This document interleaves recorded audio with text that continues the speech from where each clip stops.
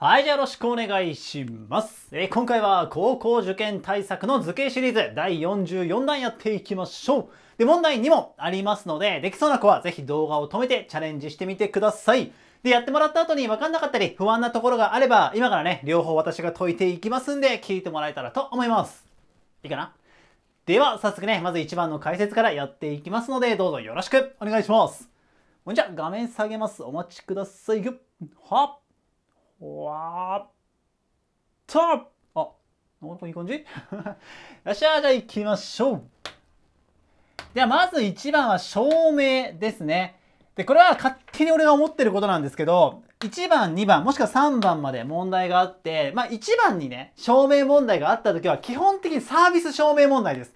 で、照明ってだけで、ああ、もう無理、やだって思う方多いんですよ。で、照明ももちろん難しいのは難しいであるんですが、え受験のその、丸1で出てくる照明はね、教科書レベルで解けるものが多いので、ぜひ、あの、照明の練習を積んでおけば解けますからね、やっておきましょう。心折れちゃダメよ。照明は心折れやすいからね。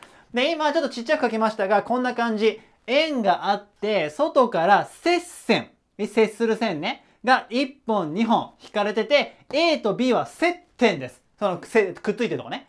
で、この時に三角形、ごめんなさい、間違った。PA と PB がイコールであることを証明したいと。で、もちろん長さが同じ証明なので、まあ二等辺三角形とかも使うこともあるんですが、まあ大体が合同ですよね。で、この場合はやっぱり補助線を引いていきましょうと三角形作りたいからね。真ん中に、まず、ここにピーッと引きます。で、中心から接線にこうやって引けば、二つ三角形できますよね。で、こいつらが合同ってことが言えればさ、ここ PA と PB は対応してるので、あ、OK 同じじゃんって言えますと。で、円を使ってるってことは当然何かの特徴を使います。で、ここで覚えてほしいのが、円があります。中心があります。接点があります。中心から接点にピーって引いたとき、絶対90度になります。もちろんこっちもそうです。これは覚えておきましょう。いいかい？中心から接点に引いたとき、今これ投稿してるときはまだ習ってない方もいるかもしれないけど覚えて。中心から接点に引いたときは90度で交わるんです。だから、この三角形両方とも直角三角形なのよ。直角三角形。だから直角三角形の合同条件で攻めていきたい。で、90度分かってるから、あとアイテム2個でいいのよ。2個。でも1個は斜辺が必要なんですが、今斜辺ここだよね。ここ。PO です。同じじゃね？だって両方使ってんだもん。下の三角形にも上の三角形にも使ってる。つまり、共通な辺ってやつです。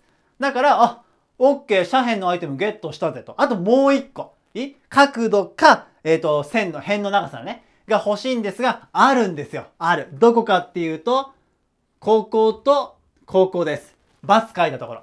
ここが一緒。なぜかって、円の半径だからです。両方とも。あって、ここ半径でしょ？半径でしょ？同じじゃないから。ってことで、照明はいきなり書き始めるんじゃなくって、アイテムを揃えてから書き始めます。じゃないと、書いてる時間、書いてさ、途中まで行って、あれ？なんか違う？って、めちゃめちゃ時間ロスしてるからね。受験の時そんなんやっちゃダメだよ。必ず作戦会議をしてから書いていく。で、じゃああとは書いていきましょう。で、三角形ね、まあ、2個の話をしていきたいので、まず宣言します。下、三角形 PAO か。と、上、三角形 PBO だね。PBO について。だからつまり今私は、えーこれからこの三角形について話をしていきますという宣言をします。で、間違ってもここで合同マークを書いちゃダメだよ。ここで書いた瞬間に全部バツ食らうからね。下手するとね。で、書いていきます。じゃあまずどれからいこうかな。じゃあ、まあ、わかりやすいから共通とかいこうか。共通な。上と下両方使ってんじゃんっていうのを共通なって言い方をします。今は辺なので、共通な辺より、えっ、と、下が PO。で、上の三角形も PO だから、PO イコール PO と、こう書きます。変な感じするかもしれないけど、これで OK です。じゃあもう一個次簡単な半径いきましょうか。えー円の半径より、えっ、と、AO イコール BO にしようか。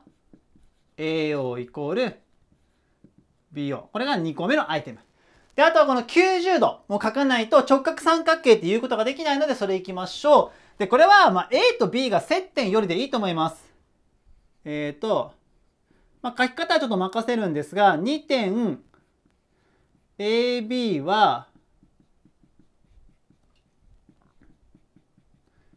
接点なので、接点だからね、こう引けば90度ってことが言えるから、え、各、ここ PAO にしようか。各 PAO イコール PAO にしたから上は PBO がいいよね。各、えー、PBO。で、忘れずに両方90度を書きます。じゃないとね、直角三角形発動できないから。はい、アイテム3つ揃いました。揃ったから、1、2、3より合同条件書いていきましょう。で、直角三角形の合同条件なので、よいしょ。斜辺と、今は斜辺と、あと一辺。それは他の一辺だね。斜辺と他の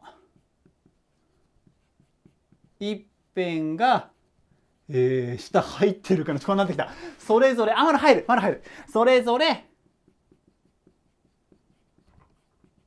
等しいので、合同条件書いたから、やっとここで合同マーク宣言したね。この PAO と PBO に合同マークをつなげられると。こうなります。つまり、この下の三角形と上の三角形はぴったり重なりますよってことが言えました。でも今回のゴールはこれじゃないです。結論はこれじゃない。結論は、この PA、ここと PB が同じ。これが結論です。だから最後に結論を書きます。今ぴったり重なるから当然一緒だよね。で当然一緒でしょなんて書けないので、この時に書くのが、重なることを対応するって言います。だから今辺だよね。対応する辺より、つまり重なる場所だよねってことが言います。辺より PA イコール PB と書いて結論が書けたからこれで終了となります。もちろんね、証明慣れしてない方は、えー？って思うかもしれないんですが、大丈夫。このレベルは、俺の動画とか、みんなが持ってる問題集とかで十分対応できるレベルだから、ぜひ覚えてください。で、今回で一番大事なのは、えー、円があったら、中心から接点に引くと90度で交わること。ここね。これがポイント。いいかな？さあ、2番。おっきいね。さあ、2番はどこに書けそう？ここでいくか。いや、問題番号書いてないんですが、2番先に言っときます。これ難しいです。難しい。補助線必要だからね。鬼マーク書いておきましょう。えこんな図があります。円が1個増えました。で、ここも接しております。で、その間にここも接してて、しかもこの接線が引かれてるんですね。で、この時に、えー、PC の長さ。で、こっちの半径5です。こっち。5。後で書くね。こっち5。こっち3です。この時に PC。ここの長さを求めに行きたいと。でね、まずこれを見た時に思うのは、当然のさっき使ったからさ、もうここも引くわけよ。こうやって。こう90度だからね。一応書くね。90度。で、ここも引くわけよ。こうなるんよね。で、今、円と円が繋がってるからさ、ここ通ってこうやって繋がるわけよね。で、これ今3本書いたじゃないですか。これ全部長さ分かりますよね。だって半径使えばいいから、こっち半径3でしょ？ここ3なんよ。ここ5なんよ。で、ここは3と5くっつけてるから、ここ8なんよね。はい、分かりますと。で、このね、形を見た時には、やっぱりこれをね、ちょっと反応してほしいなと思うものがあって、補助線いきます。これが今回のミソだね。ここに、ちょっと曲がっちゃったかな。はい、水線引きます。ちょっと曲がってごめん。つまりこれ長方形作ってるんです、長方形。で、これを作るといいことがあって、何がいいかっていうと、この青のところわかるんですよ。わかる。なぜかっていうと、長方形にしたことによって、ここも3ですよね。横、真横で3で持ってきてるから。だから、上のここ、2ってわかるんですよね。2。で、そうするとね、この、じゃあここ何しようかな。えっ、ー、と、R、S、ん？何使ってない ?R、S とかでいいかな？これ S にする？じゃあ、ちょっと取り出しますよ。で、これも多分ね、この投稿してるときは習ってない方が多い。三平方の定理今から使います。で、三平方の定理は、学校で習う前に絶対やっちゃった方がいい。過去問で出ない時がないから。それだけ有名な問題なんで先に使えるようになって。で、三平方で一応説明しますね。今、直角三角形があります、ここ。これが、えっと、O、R、S か。こうです。で、ここが8、ここが2。今これね、ここの三角形取り出したんです、ここ。で、直角三角形の時に発動できます。三平方の定理っていうのは。で、今、RS、ここの長さを求めたいんで X にしましょう。これが求められるんです。二つの辺の長さが出てる時は求められる。どうやるかっていうと、まず斜辺、つまり滑り台の滑るとこね。斜辺の今8、これを2乗します。64。イコール、残った辺の長さをそれぞれ2乗します。x2 乗して、2も2乗して、それを足すんです。斜辺の2乗イコール、残った辺の2乗足す残った辺の2乗。これが三平方の定理の一番基礎。これだけでいい。覚えておきな。これだけだから。だから、直角三角出てきたらラッキーなんよ。辺の長さ求めやすいんで。で、これまとめると、x2 乗イコール60になります。じゃあ二乗方程式解きますよ。2乗。こっち持ってきます。2乗を取ってくる。こっちをね、2乗取る代わりに、右辺にプラスマイナスルートをつけるのが二乗方程式の解き方。ルート60は 4×15 です、こいつ。4×15。ってことは、4なので2が出てくるから、プラスマイナス2ルート15となります。ただ今、長さを考えているので、まあ、マイナスはないからね。だからちょっとその時は、えっ、ー、と、プラスだけにして2ルート15と分かりましたと。つまり、今、青の部分。ここです。ここが2ルート15と分かるんです。そう、この形でね、こう補助線引くと出てくると。で、この問題、あともう一個ポイント。もう一個ポイントなのが、ここです。この存在。こいつ C。実はですね、今、左側の円ちょっと見てください。ここの長さ。ここです。こいつと、この長さ、同じです。同じ。で、これはさっきはね、ちょっと説明しなかったんですが、えっと、外からいい。外の点から接線引くじゃないですか。接点までの距離って同じになるんですよ。同じになる。ださっきも絶対同じになってんだけど、これ。まあそれは証明したけどね。同じになるんです。そう。で、ここも、こっから外の接点とここの接点だから同じになるんよ。つまり、この C を使うことによって、ここが、もうね、ここが一緒、ここが一緒だから、ここ一緒なんよね。こいつら。で、2ルート15でしょもともと2ルート15だもん。上が2ルート15だから。だから、同じってことは、半分に分けられるんよ。こいつはルート15だし、こっちもルート15なのよね。超近づいてきたでしょ今出してるの PC だから。ここ出したいから。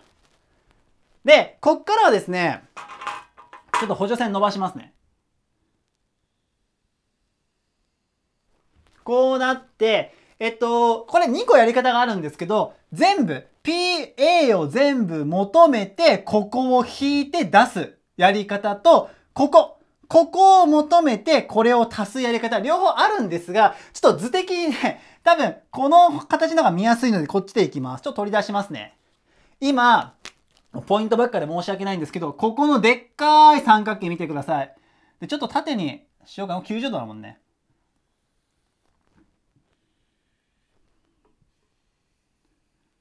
いろんな図形がね、ありますが、今、ここも、よいしょ。ここ平行になってるでしょ？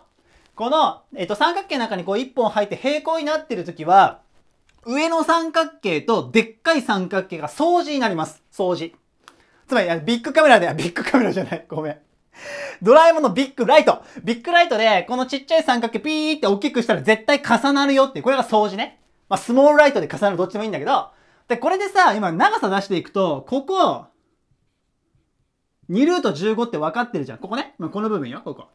で、ここ、2じゃん。で、ここ、5じゃん。で、今、ここ出したいのよ。ここ、X でしょうかまた。X 出したい。だって、ここの PA、もうこれ PA ね。ここ。PA よ。ここ。ここが分かれば、このルート15引けば PC 出せるんだから。じゃあここ出したいなって思うわけ。で、この形は絶対いけて、いくぞ。ちっちゃい三角形から行くので、ちっちゃい三角形のここ行こうか。2ルート 15? ちっちゃい三角形の2ルート15対、大きい三角形の下は X だから X。いいちっちゃい三角形のここ対大きい三角形のここで行きます、今。で、もう一個の辺。こっち行くよ。ちっちゃい三角形のここ対大きい三角形のここで行きます。つまり、2対5だよね。イコール2対5とこうなる。で、こういう比例式、比が入った式っていうのは、中中外外、もしくは外外中中を使います。で、中中でいくと、まず中と中かけて、2x イコール、外と外かけると、10ルート15です。で、両辺2で割ると、x イコール5ルート15と分かりました。これが今 PA です。はい、もう言ったね。PA が5ルート15。こいつがルート15って分かってるから最後。求めたかった PC は5ルート15引くルート15をすればいいので4ルート15で入ってますか入ってました。ありがとうございます。